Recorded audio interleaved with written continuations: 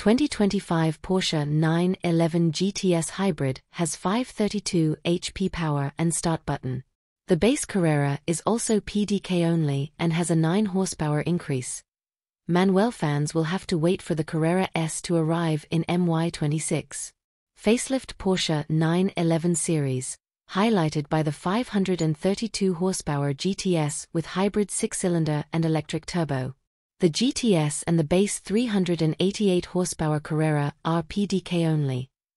No manual 911s until Carrera S launches in MY26. The fully digital instrument panel and starter button debut in the 911. All coupes now have two seats as standard. For a start, it ditches the old twin-turbo setup for a single wastegate-less turbo that can be cycled electronically to eliminate lag and also uses energy from the exhaust gases to charge a 1.9 kWh, 400-volt battery housed in the fuselage. This battery powers a single electric motor stored in the mandatory 8-speed PDK transmission. It produces 54 horsepower, 54 PS/40 kilowatts, and 110 pound-ft, 149 newton meters of torque, helping the GTS's powertrain achieve a total system output of 532 horsepower, 540 PS, and 449 pound-ft, 609 newton meters. As in 2024, the Carrera only comes with the PDK dual-clutch transmission and has not undergone as dramatic a transformation as the GTS. There's no hybrid power pack and no electric turbo, but squeezing the two turbos from last year's GTS helps boost power from 379 horsepower, 385 PS, to 388 horsepower, 394 PS, while leaving the 450 newton meters, 331 lb-ft, torque peak unchanged.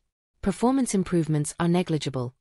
0 to 60 miles per hour takes 3.9 seconds, or 3.7 seconds if you opt for the Sport Chrono package that adds launch control. These figures are only one-tenth better than before.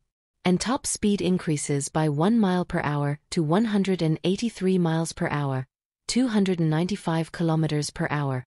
But the price has increased. It jumped from $114,400 to $120,100.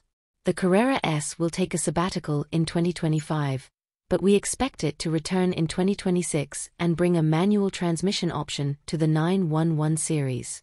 Accurately predicting changes to the Carrera, reports suggest that it too will receive a similar non-hybrid upgrade that will increase its power from 443 horsepower, 450 PS, to 454 horsepower, 460 PS.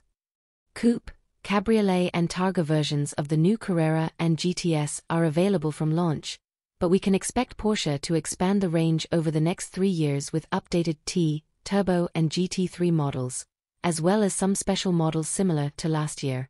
The 911S/T will please the richest brand fans. The GTS's active air flaps, which close to improve aerodynamics or open to introduce cool air into the front radiators during track use and work in conjunction with underbody diffusers, mean you'll have no trouble identifying it. However, other changes will help you spot the 2025 MY version of both the GTS and Carrera. Both come with Porsche's 4-point LED matrix headlights, which concentrate all lighting duties in lamp units and do away with separate turn signals and DRLS. There's also a new rear trunk grille with five vertical stripes on each side, and the word Porsche below is now illuminated and incorporated into the transverse light bar connecting the taillights. Carreras come standard with 19-inch front and 20-inch rear wheels, but 2021's options are also available. These include 911 Carrera exclusive design wheels, whose carbon fiber blades can reduce drag at speed and attract crowds when parked. Both Carrera and GTS buyers have the opportunity to add the Aero Kit, which consists of a Porsche Sport Design front spoiler, side skirts and a fixed rear wing. If there's one thing that's guaranteed to enrage the new 911 from hardcore Porsche fans, it's the way you start. You still do this by reaching for the door side of the steering wheel. It's a holdover from Porsche's early racing days when it allowed drivers to crank the engine and put it into gear simultaneously, but instead of a simulated key that can be turned, 2025 has a wrench. Start button, just like Taycan. The band can even display Apple CarPlay material accessed via Siri voice commands. And other tech upgrades include video streaming functionality for the 10.9 inch infotainment screen while the car is parked, a cooled smartphone charger, and the ability to use apps like Spotify and Apple Watch. Apple Music without connecting a phone.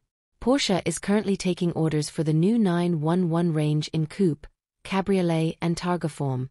But while Carrera deliveries will begin this autumn, the GTS won't arrive in dealerships until the end of the year.